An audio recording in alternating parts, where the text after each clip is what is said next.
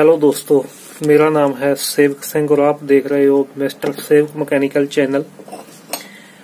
आज की दोस्तों जो वीडियो है वो है कि कोई भी वाइंडिंग वायर हो, उसका हम नंबर कैसे ज्ञात करें। इसके लिए दोस्तों मैंने पहले एक वीडियो बनाई थी, वो शायद आपने देखी हो, पर उसमें क्या था कि मैंने वो वीडियो इस माइक्रोमीटर से बनाई थी और इससे बनाई थी। ये डिजिटल क्लिपर है और ये है माइक्रोमीटर तो इससे मैंने वो बनाई थी।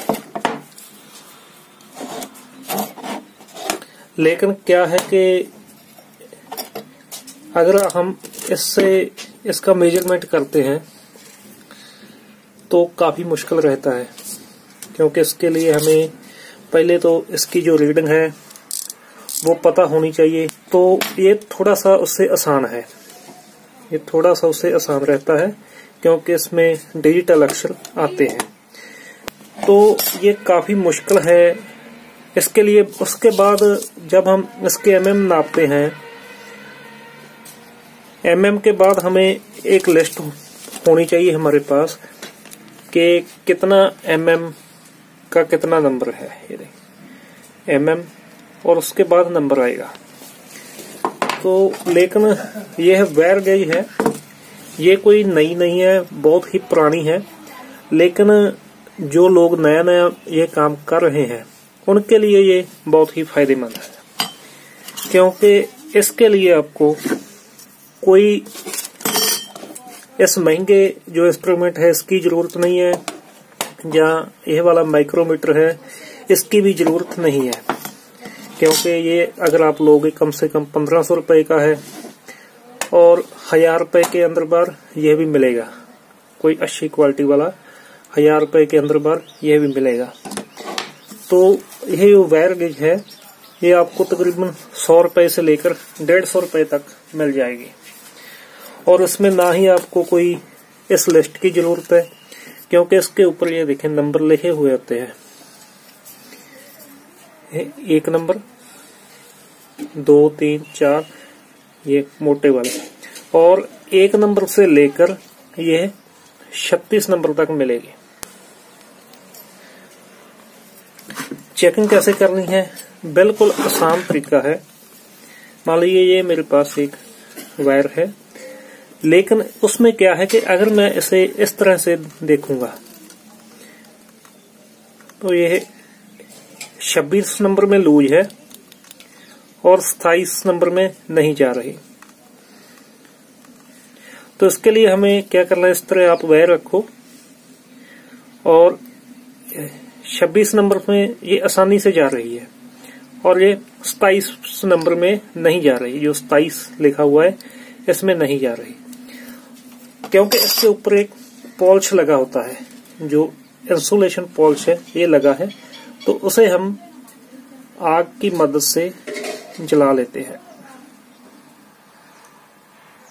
जो उसका पॉल्च है, ये हम जला लेंगे।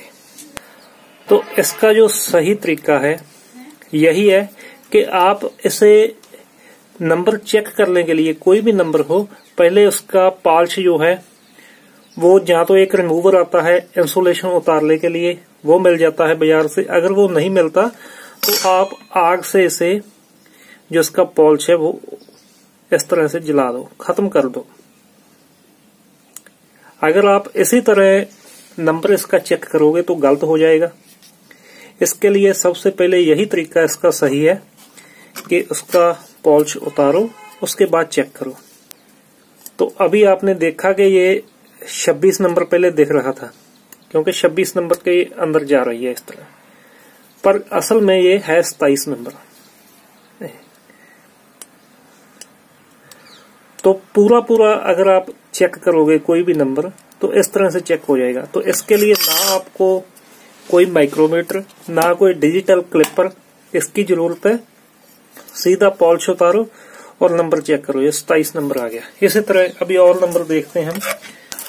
अगर हम इसको बगैर पॉलिश उतारे चेक करते हैं तो ये 26 नंबर और सताइस, अट्ठाईस और इसमें आ रहा है उनतीस नंबर में नहीं जा रहा। तो जब आप इसकी पॉलिश उतार रहे हो तो इसे ज़्यादा खींचना नहीं है, नहीं तो तार का जो नंबर है, वो गलत हो जाएगा। तो जो वायर अभी उनतीस नंबर में नहीं जा रही थी, ये उसमें जा रही है। ये पूरा उनतीस नंबर है। तीस में नहीं जा रही, अट्ठाईस में लूज है, और ये अब उनतीस नंबर है इसका।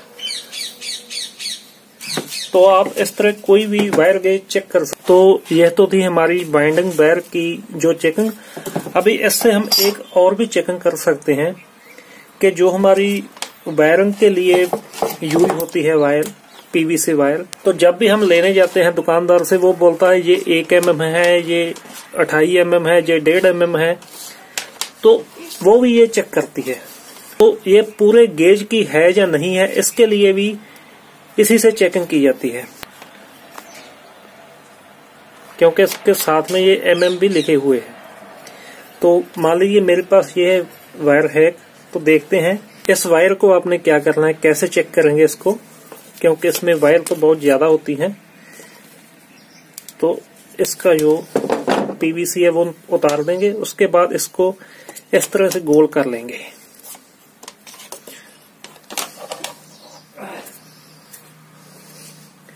इस तरह से गोल कर लेना है अपने अच्छी तरह से। उसके बाद हम इसमें लगाएँगे कि ये एक एम की वायर है। तो हम लगाएँगे, ये देखें, यहाँ पर लिखा हुआ है दो, ये एम mm है। Two point zero three. इस तरह से यह आ गया, एक पॉइंट टू। तो इसमें हम लगाकर देखते हैं।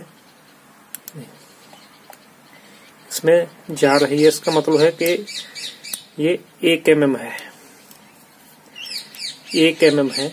चाहे इसके ऊपर लिखा बेशक डेढ़ एम mm हो पर अगर हम इस वायर गेज से नापेंगे तो अगर जितने एम mm हुआ, वो पूरा पूरा इसमें जाएगा।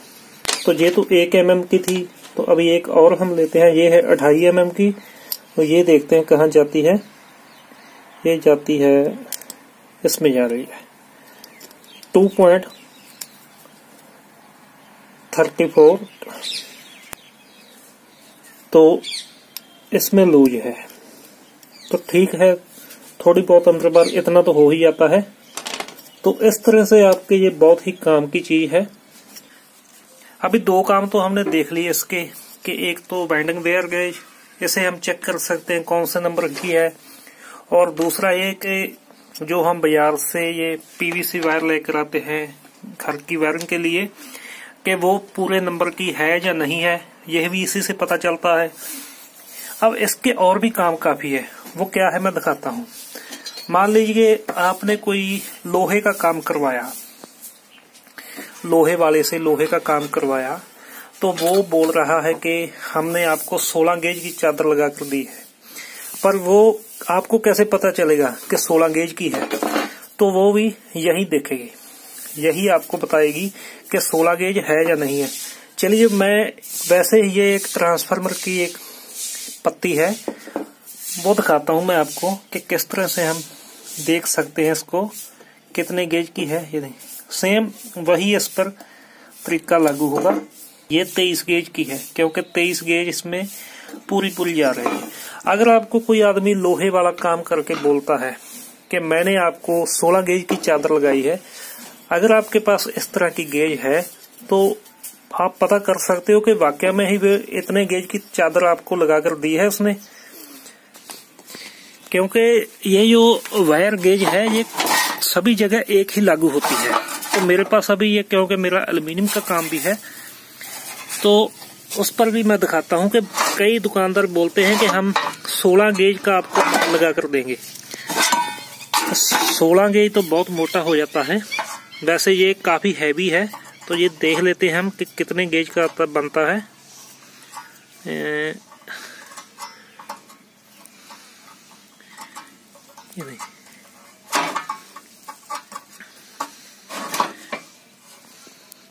यह भी 18 गेज का है। देखें अभी 18 गेज है। तो काफ़ी कामों में यह जो गेज है, काम आने वाली है। अगर आप दुकानदार हो फिर तो आपको ज़रूर यह लेनी चाहिए। अगर आप दुकानदार नहीं भी हो तो लेकर रख सकते हो घर में। और जैसे ये माइक्रोमीटर वगैरह है, डिजिटल क्लिपर है, ये एक तो है भी महँगे, और जो दूसरा इसका रख रखाव है, वो भी काफ़ी है। क्योंकि अगर इसे धूल मिट्टी या गिरने से बचाना होगा तो ही ये सही रहते हैं। तो अगर ये वायर गेज है, ये आप कहाँ पर भी रख दो, बस एक बात का इस पे ख्याल रखना कि इसको आप बेंड मत होने देना। नहीं तो आपकी जो गेज है वो खराब हो सकती है। का कोई ज़्यादा भी रख रखाव नहीं है। आप कहीं भी इसे रख सकते हो।